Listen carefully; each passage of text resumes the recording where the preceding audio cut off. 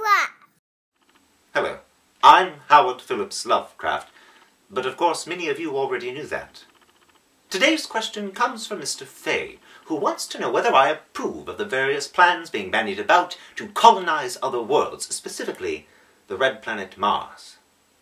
Now, mankind has often looked to the stars as a place to find its destiny. We seek to escape the limits of Earth and find out who we truly are out there in the deep black.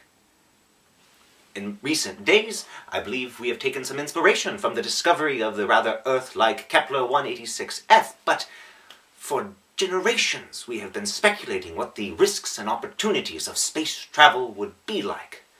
And Mars, Mars has always captured our imagination. And indeed, it looks like technology is finally catching up. The proposals are seemingly realistic. Uh, there is just the question of will. But there's another question as well. You see, we can get to Mars, but we can't necessarily come back. That has not stopped people from volunteering. Whole hosts are ready to end their life on Earth and become the world's first Martians. And I have to wonder, are the type of people who would be willing to give up absolutely everything for a fanatical devotion to the cause of being one of the first interplanetary colonists?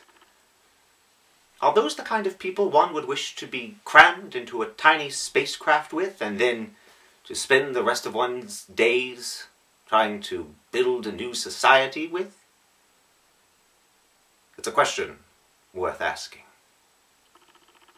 But I look forward to finding the answer. As always, I'm Howard Phillips Lovecraft. Thank you.